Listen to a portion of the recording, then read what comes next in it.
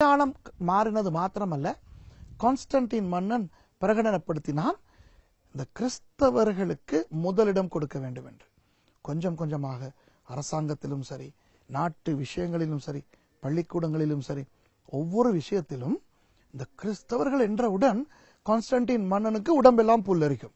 இப்போ யாராவது தொழில் கேட்டு வருகிறார்கள் என்று வைத்துக் கொள்வோமே நீ நீ எந்த மதம்? நான் கிறிஸ்தவன் ஓ நீ கிறிஸ்தவனா? உடனே அந்த வேறு தகுதிகள் எதுவும் பார்க்காமல் அவனை வேலைக்கு சேர்ப்பான். சலுகைகள். கிறிஸ்தவர்களுக்கென்றால் சலுகைகள். கொஞ்சம் கொஞ்சமாக அந்த வருஷத்திலேயே இந்த பிற மதத்தவர்கள் இருக்கிறார்களே. அவர்கள் கூட வந்து தங்களுக்கு தொழில் வேண்டுமென்றால் ராஜாவினுடைய ஏதாவது ஒரு சலுகை வேண்டுமென்றால் வந்து பொய்க்கு சரி நான் கிறிஸ்தவன் என்று சொல்லி வேலையை வாங்கிக் கொள்வார்கள் அல்லது ஏதாவது சலுகைகளை பெற்றுக்கொள்ள தொடங்கினார்கள். இப்போ மன்னனுக்கும் இவர்கள் உண்மையாக கிறிஸ்தவர்களா என்று அறிய இவருக்கும் ஒன்றும் தெரியாது அல்லவா இவருக்கே கிறிஸ்தவம் தெரியாது. ஆகவே இந்த இவருடைய அறியாமையை பயன்படுத்தி அநேகர் தாங்கள் கிறிஸ்தவர்கள் என்று சொல்லிக்கொள்ள ஆரம்பித்தார்கள். சரியோ? இப்போ நிறைய கிறிஸ்தவர்கள் காணப்படுகிறார்கள். உண்மையான கிறிஸ்தவர்களை விட கூடுதலாக இப்போ கிறிஸ்தவர்கள் காணப்படுகிறார்கள். ஆனால் இப்போ கிறிஸ்தவர்களுக்கு தாங்கள் ஆராதிப்பதற்கு ஒரு ஒழுங்கான இடம் இல்லை. ஆகவே கான்ஸ்டன்டின் பார்த்தான் இவர்களுக்கு நல்ல நல்ல கட்டடங்களை அமைத்து கொடுக்க வேண்டும் என்று. எத்தனை இப்போ ரோமாபுரிக்கு கீழே தானே எத்தனையோ நாடுகள் இருந்தன. எல்லா இடத்திலும் இந்த இந்த தேவாலயங்கள் கிறிஸ்தவர்களுக்கு சபைகள் கட்டி கொடுக்க முடியுமா? இப்போ கிறிஸ்தவர்களுக்கு ஒரு ஒரு நான்கு சிவர் இருந்தால் போதும். இன்றைக்கு பாருங்கள் கிறிஸ்தவ சபைகளை. கீழே கராஜ் நடக்கும் மேலே சபை நடக்கும். அநேகமாக இந்த நிகழ்ச்சியை பார்த்து கொண்டிருக்கின்ற உங்களில் சில பேர் உங்களுடைய சபைகள் எங்கே இருக்கிறது என்று பாருங்கள் சில வீடுகளிலே இல்லையா? அல்லது சில அரங்கங்களில் ஹால்களிலே. இப்படித்தான் நடக்கும். அதில் ஒன்றும் பிரச்சனை இல்லை. எங்கே நடக்கிறது என்பது ஆராதனை நடக்கிறது என்பது பிரச்சனை இல்லை. எங்கே இரண்டு மூன்று பேர் என்னுடைய நாமத்து நிமித்தம் கூடியிருக்கிறீர்களோ அங்கே அவர்கள் நடுவிலே நான் இருப்பேன் என்று தான் இயேசு சொல்லிவிட்டாரே. ஆகவே சபை எங்கே நடக்கிறது என்று பிரச்சனை இல்லை. கிறிஸ்தவர்கள் ஜனங்களுடைய செயற்கை தானே சபை. அப்போ பாருங்கள் கான்ஸ்டன்டைன் மன்னன் அவனுக்கு இதெல்லாம் தெரியாது. இந்த இறையியல் தெரியாது. சபை என்பது ஜனங்கள் விசுவாசிகள் கூடி ஆராதிக்கிற இடம் என்றெல்லாம் தெரியாது. ஏனென்றால் அவனுடைய ரோம மதத்தின்படி மதம் என்றால் ஆலயம் இருக்க வேண்டும். ரோமர்களுடைய தேவாலயங்களை பார்க்க வேண்டும். அவர்களுடைய தெய்வங்கள் நிறைய தெய்வங்கள் இருந்தன அல்லவா? தீனாள் இதெல்லாம் டயனா என்று சொல்லுவோமே. எபேசுவிலே வணங்கப்பட்ட தெய்வம். இதெல்லாம் பெரிய தெய்வங்கள். இந்த ரோமர்களுக்கு ஏதா- ஏராளமான தெய்வங்கள் இருந்தன. ரோமன் மித்தாலஜி என்று சொல்வார்கள். அந்த ரோமன் மித்தாலஜியிலே அதிகமான தெய்வங்கள். இப்போ இந்த மாதிரி ஒரு பெரிய கட்டடம் இருக்கும். முன் இந்த கூரை எப்பொழுதும் கூறாகவே இருக்கும். சரியா? அப்படி பெரிய பாரிய ஆலயங்கள். நிறைய தெய்வங்களுடைய விக்கிரகங்கள் இருக்கும். பயங்கரமா இருக்கும். இந்த பயங்கர அந்த அந்த ஒரு ஆங்கிலத்தில் சொல்லுவோம் அண்ட் ஈரி ஃபீலிங் அந்த ரோம தேவாலயங்களுக்குள்ளே போனால் ஒரு ஒரு விதமான ஒரு அமைதி ஒரு என்கின்ற ஒரு உணர்வு பயங்கரமாக இருக்கும். ஒரு வித இருள் கொஞ்சம் ஆங்காங்கே ஒரு சின்ன விளக்கு அந்த விளக்கு பக்கத்திலே ஒரு சிலை. இப்படிதான் பயங்கர விக்கிரக ஆராதனை நிறைந்த மதம் இந்த ரோம மதம். இப்போ போக போக இந்த ரோமர்களுடைய ரோம மதத்தவர்களுடைய எண்ணிக்கை குறைந்து கிறிஸ்தவர்களுடைய எண்ணிக்கை கூட ஆரம்பித்தது. உடனே கான்ஸ்டன்டின் மன்னன் ஒரு வேலை செய்தான். என்ன தெரியுமா? ஆரம்பத்தில் இப்படித்தான் செய்தான்.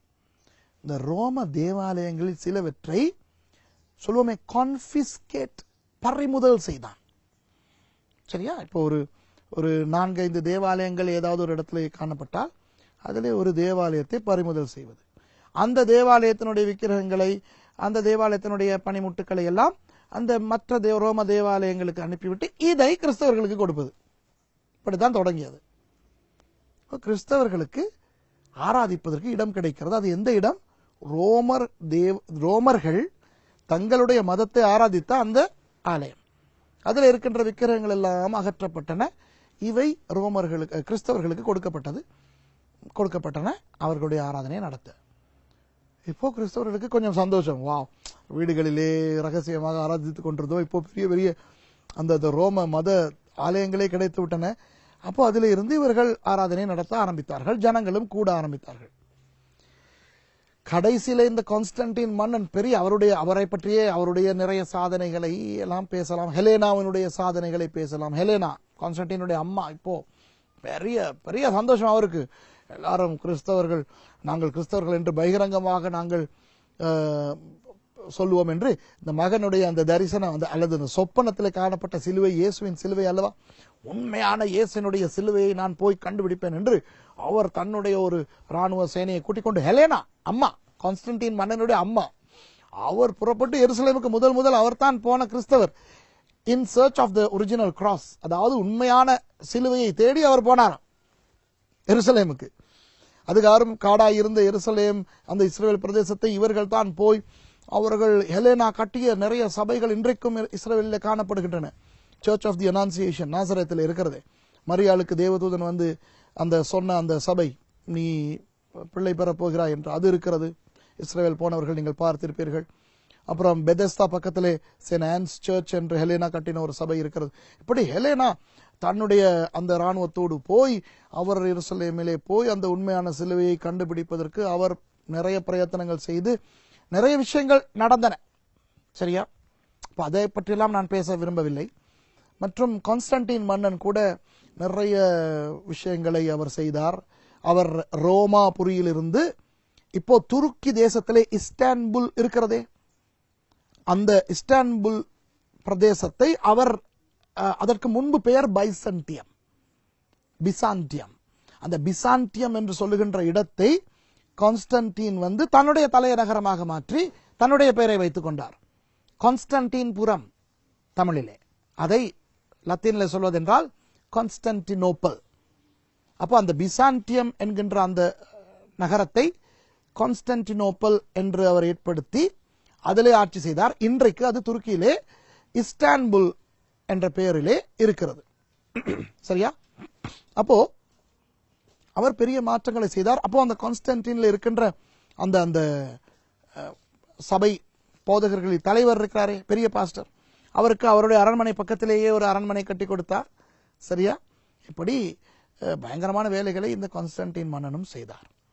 ஆனால் கொஞ்சம் கொஞ்சமாக அன்பானவர்களே ரோம மதம் விழ ஆரம்பித்தது. ரோம மதம் விழ ஆரம்பித்தது. கிறிஸ்தவம் எழ ஆரம்பித்தது. ரோம மத ஆலயங்கள் கொஞ்சம் கொஞ்சமாக பறிமுதல் செய்யப்பட்டு அந்த ஆலயங்கள் கிறிஸ்தவர்களுக்கு கொடுக்கப்பட்டன. ரோம தேவாலயங்கள் கிறிஸ்தவ ஆலயங்களாக மாற்றப்பட்டன. எந்த ஆலயம் கிறிஸ்தவ ஆலய ஆலயமாக மாற்றப்பட்டதோ அதனுடைய அந்த உச்சியிலே இப்படித்தானே ரோம தேவாலயம் இருக்கும்? உச்சியிலே சிலுவை போடப்பட்டது. பார்ப்பவர்களுக்கு இது ரோம தேவாலயம் அல்ல கிறிஸ்தவ ஆலயம் என்று காண்பிப்பதற்காக. அதனால்தான் இன்று கூட அநேக சபை கட்டடங்களிலே கத்தோலிக்க சபைகளா இருக்கட்டும் எல்லா கத்தோலிக்க சபைகளிலேயும் சிலுவை இருக்கும். மற்ற கிறிஸ்தவ சபைகளிலேயும் கூட சிலுவையை போடுவர் என்ற பழக்கம் இப்படித்தான் வந்தது. புரிகிறதா? இப்போ இந்த ஆலயங்களுக்குள்ளே போனால் இந்த விக்கிரகங்கள் இருந்த இடங்கள் எல்லாம் வெறுமையாக காணப்படுகிறது. உண்மைதானே. இப்போ கிறிஸ்தவர்கள் ஆராதிக்கும் பொழுது கிறிஸ்தவர்கள் ஒன்றையுமே வைக்க மாட்டார்கள். ஒரு விக்கிரகத்தையும் வைக்க மாட்டார்கள். சிலுவையை வணங்க மாட்டார்கள். அப்படி இருக்கவில்லையே. இப்போ என்ன செய்யப்பட்டது? இந்த ஆலயங்களுக்குள்ளே வந்த பொழுது இந்த அந்த ஆலயங்கள் பெரிதாய் காணப்படும் உயரமாய் காணப்படும். இந்த விக்கிரகங்களை எல்லாம் எடுத்து வேறு இடங்களுக்கு மாற்றி அப்புறம் அப்புறம் காலப்போக்கில் அவற்றை வீசு எறிய ஆரம்பித்தார்கள் எரிந்து வீச ஆரம்பித்தார்கள். அப்போ அநேக ரோமர்கள் கிறிஸ்தவர்களாய் மாறி இருக்கிறார்கள் அல்லவா? அவர்கள் இப்போ உண்மையாக மனமாற்றம் அடையவில்லை மதம் அல்லவா மாறி இருக்கிறார்கள் மதத்தை மாற்றிவிட்டார்கள் மனம் மாறவில்லை. மனம் இன்னும் ரோம தெய்வங்கள் பால் ஆசை கொண்டிருக்கிறது. ஆனால் இந்த சலுகைகளுக்காக வேண்டி மதம் மாறி இருக்கிறார்கள் அப்போ இந்த ஆலயங்களுக்குள்ளே வரும் பொழுது இவர்களுக்கு பயங்கர கஷ்டமா இருக்கும் இங்கே அந்த பூஜைகள் எல்லாம் இல்லை. இப்போ ரோம தேவாலயங்களுக்குள்ளே போகும் பொழுது அங்கே பூஜைகள் நடைபெறும் சம்பிரதாயங்கள் நடைபெறும் நிறைய விஷயங்கள் நடைபெறும். இங்கே ஆராதனை போல் கிறிஸ்தவர்களுக்குள்ளே போனால் இவர்கள் சும்மா பாட்டு படிக்கிறார்கள். அப்புறம் ஒருவர் ஏறி பிரசங்கம் பண்ணுகிறார். அவருக்கும் இவருக்கும் வித்தியாசம் தெரியல தெரியவில்லை. யார் ஆ- யார் இதிலே அந்த பூசாரி அல்லது ஆசாரி யார் விசுவாசி ஒன்றுமே தெரிய மாட்டேனுங்கிறது ஆகவே இந்த இப்போ இப்போ சபைக்கு இணைந்திருக்கின்ற நூற்றுக்கணக்கான இந்த ரோமர்களுக்கு இது ஒரு பெரிய கஷ்டமாய் போய்விட்டது. அதனால் அன்பானவர்களே இதுகாரும் ஒழுங்காயிருந்த கிறிஸ்தவத்துக்குள்ளே ரோம மதத்தினுடைய அம்சங்கள் புக ஆரம்பித்தன. அன்பானவர்களே இந்த இடத்திலே இருந்து நான் கற்றுக் கொடுக்க போகின்றதை மிகவும் கவனமாய் செவி கொடுங்கள். இது யாரையும் குறை சொல்வதற்காக அல்ல சரித்திரத்திலே நிகழ்ந்த உண்மையான விஷயங்களை நான் சொல்லப் போகிறேன். இந்த இடத்திலே இருந்து சபைக்கு என்ன நடந்தது என்கின்ற அந்த துர்ப்பாக்கியமான துக்கமான தகவல்களை நான் உங்களுக்கு சொல்லிக் கொடுக்க போகிறேன். அன்பானவர்களே